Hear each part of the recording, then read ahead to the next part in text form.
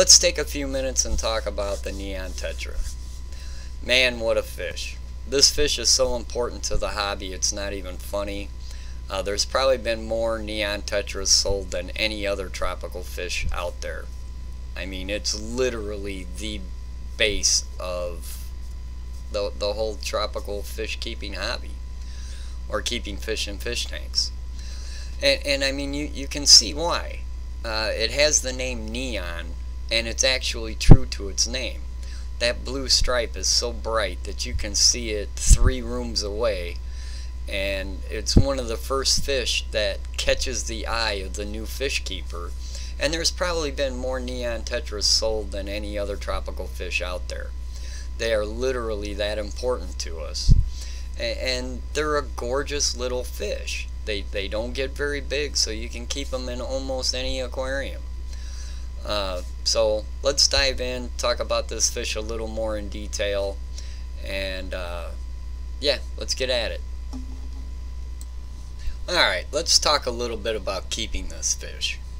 If you've seen any of my other species profiles, uh, the fish I've done are pretty much bulletproof. They're extremely adaptable fish and you can keep them in doggone anything. Unfortunately, the neon is not quite a fish like that. It's a hardy fish, but it's not as adaptable as some of the other fish I've done profiles on. If you have a water source that is on the softer side to neutral, you're going to find this fish a lot easier to keep.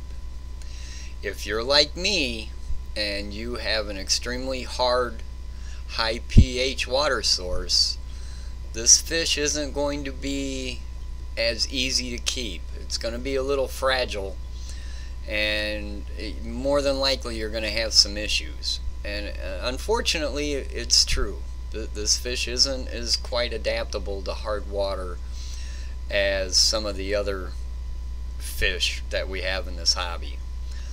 And if you do have hard water, you can still keep this fish, but you're really going to have to watch your water parameters. You're going to have to keep your water pristine because this this fish in hard water, its immune system isn't all that great.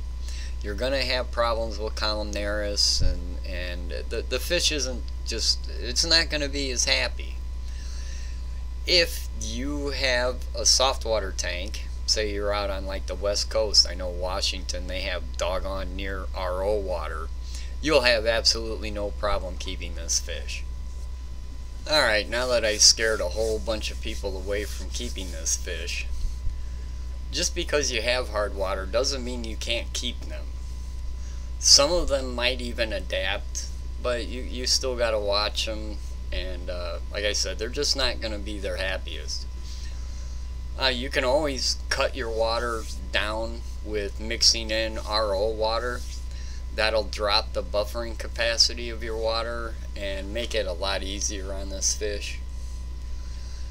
Uh, another thing that makes this fish not quite as adaptable is most of them are coming from the wild.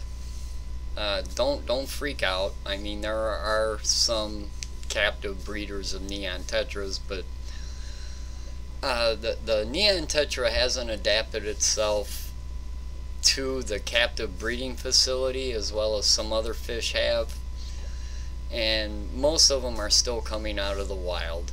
But it, it's not really a bad thing either. Um, there are sustainable fisheries in South America where this fish comes from that they are purposely making sure that they're doing a sustainable harvest. And if this fish gets taken away from them as a, a way to make money, then they're going to turn to other ways to make money, and those might even hurt the environment even worse. Uh, there's a whole thing about the neon tetra. If you ever just want to just Google uh, neon tetra sustainability and you'll come up into a whole Alright, I screwed that up. I apologize. Uh, anyways, I just wanted to say that if you Google uh, Neon Tetra sustainability, you'll you'll find that they they are sustainable and there's a whole industry behind it. Yada yada. Anyways, all right, let's talk about the number two thing I see fish keepers do with neon tetras. They keep them too warm. For some reason, there's this idea that neon tetras need to be warm when in fact they they actually like a little cooler water than what people think they are. Uh, it's a really common practice for people to keep neons with discus. We all know discus like warmer water. Uh, a lot of people keep them with angelfish, and we know angelfish love warmer water. This fish likes cooler water. Uh, about 72 is about perfect for this fish. And a lot of people are surprised, but really, you want to keep this fish a little cooler if at all possible. I'm not saying it's going to die on you if you keep them warm, uh, but th this fish isn't as uh, warm water fish as what people think they are. With a lot of tetras, it's recommended to buy a group. Uh, this fish is no different. You know, buy 10 of them. It, it, maybe even buy 20 of them they'll be happier when they see each other. Uh, the the one thing is is you know sometimes we talk about tetras as a schooling fish and this fish when you first buy it is gonna school pretty tight. But once they get used to an average aquarium you know anything four foot and under they're gonna spread out. They're not super tight schooling. Uh, I, I don't know if you even want to call them shoaling. They'll inhabit all areas of the tank from open water to getting down into your uh, decor and down into the plants. They kind of just go all over. And it's kind of nice to have that color. You know, that, that bright contrasting color is what makes these fish. So, yeah, man, they're, they're a lot of fun. One of the things I wanted to talk about before I wrap this up is uh, the neon tetra even has a disease named after it, uh, the neon tetra disease. I personally have never seen it, and I've been in this fish hobby for quite a long time. Um, but there, there are some things that you really should look at before you buy your fish. And because these fish are coming from the wild, and then they go through several uh, facilities before they finally make it to your pet shop and you buy them is this is an extremely small fish. They don't get very they don't get very big, so it's kind of hard to see a fish that's got issues. And uh, your pet shop's not going to appreciate it very much when you're buying 10 of these and they're not going to appreciate you standing there with your finger on the glass going I want this one and I want that one you know this is a fish where you're just gonna say give me 10 neon tetras and you're gonna get what you get um, I definitely recommend this is definitely a fish just due to the fact that they're so small and you can't really see a fish right off the bat that has issues that quarantining this fish before you put it in your show tank is a must.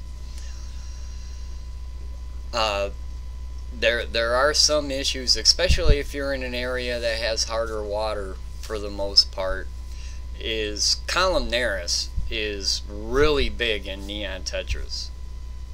And a lot of times it'll affect the face area and along the lips.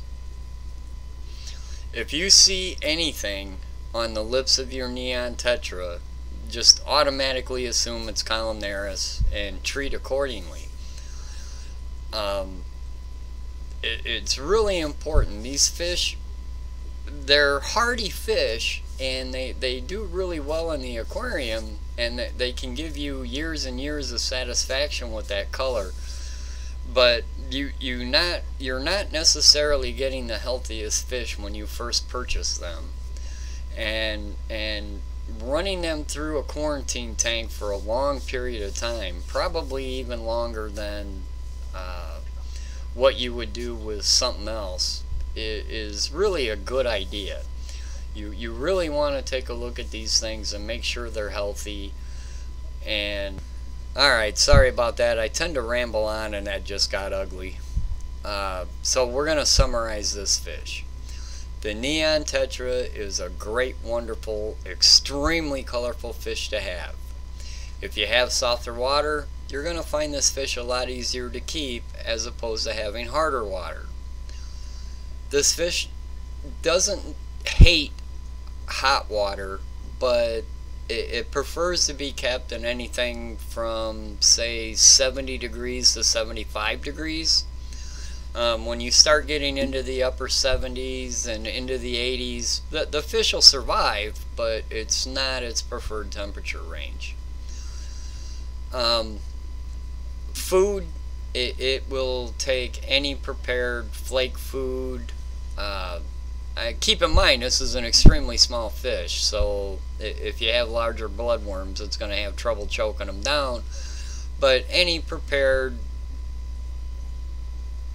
commercially available fish food will do just fine with these fish. Um, I do recommend quarantining these fish. 90% of the time your fish are coming out of the wild. You, you really want to to uh, take some time, put this fish by themselves, make sure they're really healthy before you add them to any kind of show tank. Other than that, the, the fish is hardy but not bulletproof. Um, it all depends on your water parameters and your local area. But it's definitely a fish worth keeping. It's definitely a fish worth having. That that that color is just remarkable with that, have fun, and I'll see you guys on the next one.